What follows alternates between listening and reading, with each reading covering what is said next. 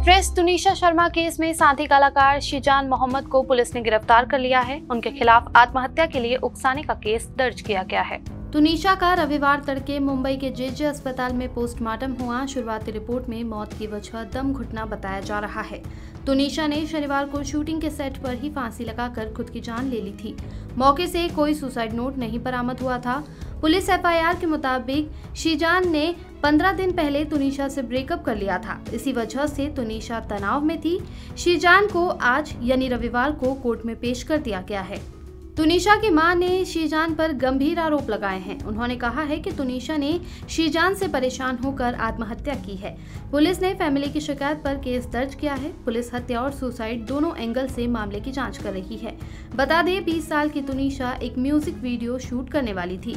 शनिवार को जब सेट पर लोगों ने उन्हें फांसी पर झूलते देखा तो उतार कर अस्पताल ले गए, लेकिन रास्ते में ही उनकी मौत हो गई थी।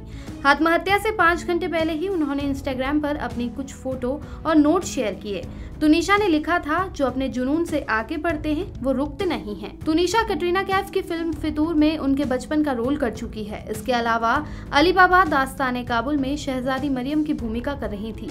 वे बार बार देखो, कहानी टू, दबंग थ्री जैसी फ़िल्मों में भी बतौर बाल कलाकार काम कर चुकी है। 20 साल की तुनिशा ने अपने करियर की शुरुआत टीवी शो भारत का वीर पुत्र महाराणा प्रताप से की थी। वे चक्रवर्ती ने अशोका सम्राट, गब्बर पूछवाला, शेर पंजाब महाराणा रंजीत सिंह, इंटरनेट वाला लव और इश्क सुबहान अल्लाह जैसी सीरियल्स में नज़र आई थी। फ़िलहाल तुनिशा की मौत के मामले में पुलिस उसके दूसरे साथी कलाकारों से भी पूछताछ करेगी। Bureau report, Mridubhashi news. Video को लाइक और शेयर करें। मृदुभाषी से जुड़ने के लिए चैनल को सब्सक्राइब करें। खबरों के नोटिफिकेशन के लिए बेल आइकन दबाना न भूलें।